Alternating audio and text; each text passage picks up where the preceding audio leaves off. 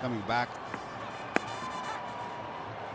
It was just a little bit of bounce that surprised Fletcher a bit.